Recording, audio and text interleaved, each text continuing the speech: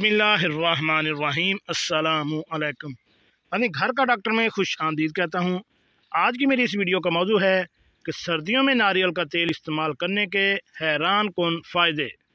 जानकर आप आजमाइए, बिना नहीं रह पाएँगे। तो कौन से फ़ायदे हैं? उनके बारे में मैं आपको तफसील से बताता हूँ। तो शुरू करते हैं आज की वीडियो। लेकिन अगर कुदरती तौर पर कोई ऐसी चीज़ है जो हर तरह से खूबसूरती में इजाफ़ा करती है और हर तरह के खूबसूरती के मसाइल का हल है तो वो नारियल का तेल। नारियल के तेल के इतने फ़ायदे हैं कि गिनना मुश्किल है। नारियल का तेल आपके जिल्द आपके बाल और रोज़मर्रा के कितने ही काम आ सकता है।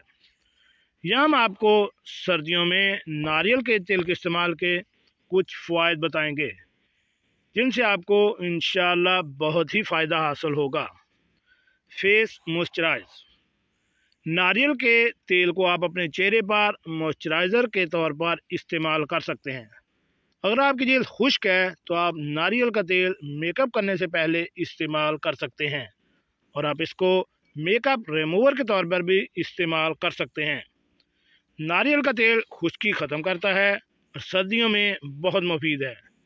लिप बाम खुश्क सर्दियों में होने वाला सबसे बड़ा मसला है।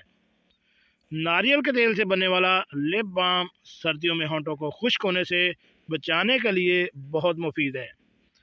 आप जमा हुआ नारियल का तेल एक छोटी सी बोतल में रखें और दिन में जितनी बार चाहें होंठों पर लगाएँ, इससे आपके होंठ नरम रहेंगे। विंटर बॉडी स्क्रब आधा कप नारियल के तेल को दो खाने के चम्मच नमक के साथ मिक्स करें और जिसम पर अप्लाई करें। नारियल का तेल जिसम को मॉइस्चराइज करता है और सर्दियों में खुश्की से बचाता है। नमक आपकी जेल से डेड सेल को ख़त्म करता है, सर की खुश्की। सर्दियों में बॉडी का खुश्क होना एक आम मसला है। नारियल के तेल को थोड़ा सा गर्म करके सर में मसाज करने से खुश्की यानी कोल्ड सोट ट्रीटमेंट ख़त्म हो जाती है। इसकी वजह से होने वाले ज़ख़म को भी नारियल के तेल से ठीक किया जा सकता है। जहाँ पर भी खुश्की की वजह से ज़ख़म हो, वहाँ नारियल के तेल से दो से तीन दफ़ा मसाज करें। इन कुछ ही दिन में ज़ख़म ठीक हो जाएँगे। जी नादीन कैसी लगी आज की हमारी ये मालूमती वीडियो? अगर आप भी खुश्क जिल के अमराज में मुबतला हैं तो आप नारियल के तेल को इस्तेमाल करें। आप इससे इन बहुत ही बेहतरीन रिज़ल्ट पाएँगे। हमें कमेंट्स बॉक्स में लाजमी कमेंट्स कीजिएगा।